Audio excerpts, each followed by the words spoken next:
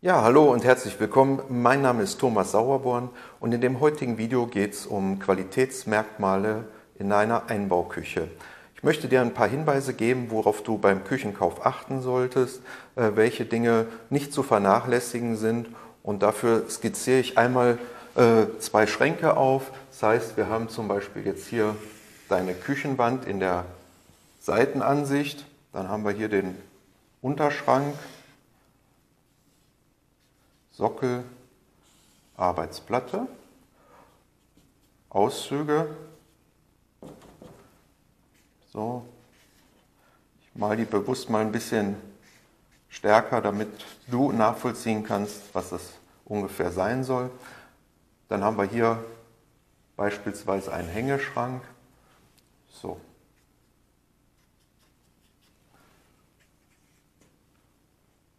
Woran kann ich jetzt eine gute Qualität für die Einbauküche erkennen.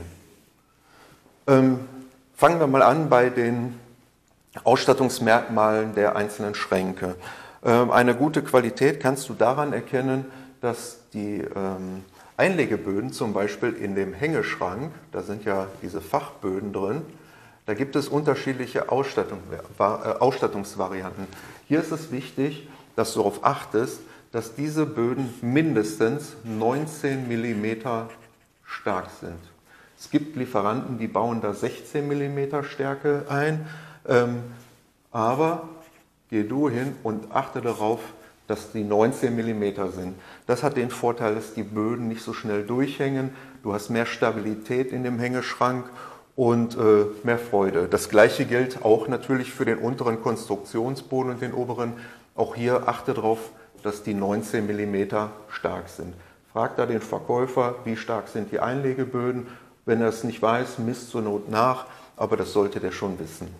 So, der nächste Hinweis bei den Hängeschränken ist wichtig, dass die Hängeschränke von der Seite gesehen eine etwas nach innen versetzte Rückwand haben. Das siehst du bei der Küche nicht. Wichtig ist, dass die Rückwand circa zwei, vielleicht auch mehr Zentimeter nach innen versetzt ist. Warum? Damit hier Luft hinter zirkulieren kann. Sollte das nicht der Fall sein, ähm, dann ist es keine gute Ausgangsbasis, weil gerade bei Neubauten, wenn der Putz noch nicht ganz so trocken ist, ist es wichtig, dass die Luft zirkulieren kann. Ähm, hier solltest du unbedingt darauf achten. Es gibt auch schon mal Verkäufer, die planen hier unten einen, einen Boden drunter und verschließen damit eigentlich die Luftzufuhr unter den Schrank oder oben drüber ist das auch schon mal zu sehen. Das solltest du darauf achten, dass das nicht passiert. Dann wichtig, die Schrankseiten bzw. die Rückwände der Schränke, die sollten auch von hinten, also der nicht sichtbare Teil, den du gar nicht siehst, wenn die Küche steht, sollte von hinten beschichtet sein. Entweder mit einer Kunststoffbeschichtung oder auch äh, lackiert, wie auch immer. Auch da zählt, äh, wenn du ein neu äh, gebautes Haus hast, eine Wohnung hast, wie auch immer, ähm, kommt immer noch Feuchtigkeit aus der Wand raus. Und hier entsteht, wenn du das nicht äh, entsprechend berücksichtigst, sehr schnell Schimmelbildung, dann entstehen Gerüche, auch dann im Schrank, dein Porzellan, dein Geschirr hast du vielleicht auch schon mal gehabt, dass das leicht nach, ähm, nach Muffel riecht, da kann das mit Schimmel zusammenhängen. Es muss nicht, aber es kann. Deswegen achte darauf, dass die Rückwände auch beschichtet sind. Das ist eine wichtige Sache.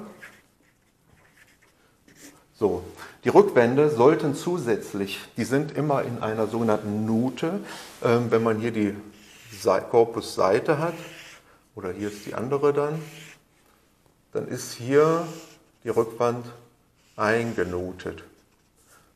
Achte auch darauf, dass sie einmal eingenotet ist. Wichtig ist auch, dass sie zusätzlich verklebt ist. Das heißt, hier ist in der Regel hinten dran ein wenig äh, Kleber, was auch immer, es kann Leim oder Kleber sein, spielt jetzt nicht die Rolle. Ähm, welchen Vorteil hat das? Einmal hat der äh, Schrank eine Stabilität, ähm, die viel besser ist, als wenn es nicht verklebt ist. Ähm, aber ein wesentlicher Punkt ist, die Rückwand klappert nicht. Das hat man schon mal früher gern gehabt, äh, dass die Rückwände geklappert haben und das ist sehr unangenehm. Zusätzlich solltest du darauf achten, dass die Rückwände im Oberboden verschraubt sind also hier verschraubt sind und hier auch im Unterboden verschraubt sind. Achte darauf, dass sie nicht mit Tackern versehen sind. Also Tacker sind so kleine Klammern, kennt ihr, wenn man Papier zusammentaktet. Damit werden teilweise in der äh, Möbelindustrie schon mal Rückwände befestigt. Ähm, eine Qualitätsmerkmal ist sicher, wenn diese Rückwände geschraubt sind. Ähm, wie stark die Rückwand ist, das variiert. Das gibt es von 3 mm bis zu 8 oder auch 10 mm Stärken.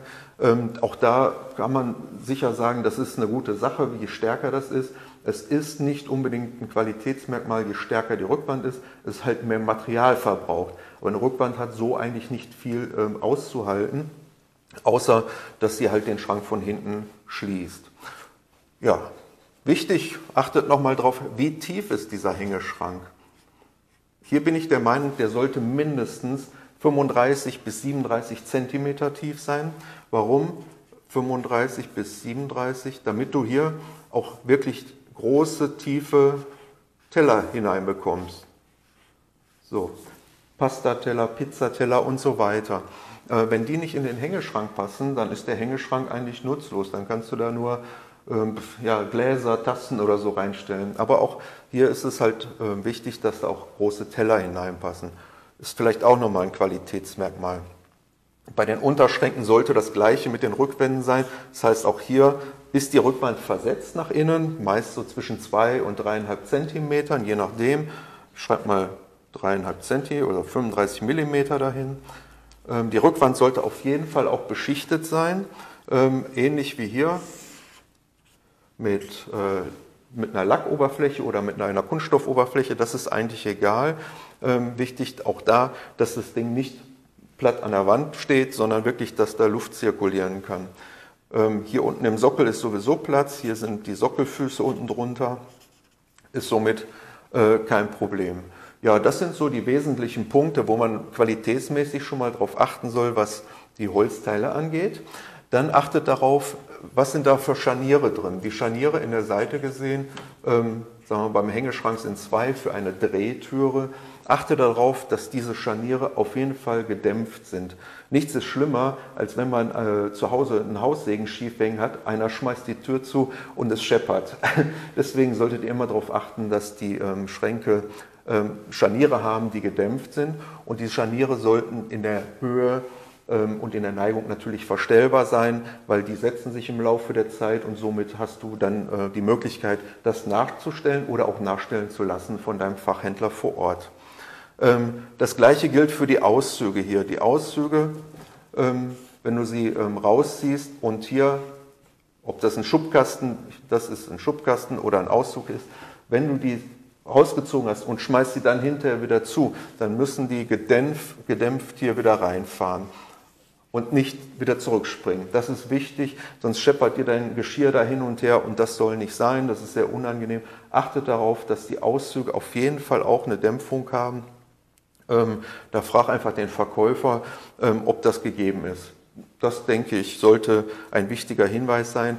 Wenn das nicht gegeben ist, nimm lieber einen anderen Küchenhersteller, dann hast du mehr Freude später daran.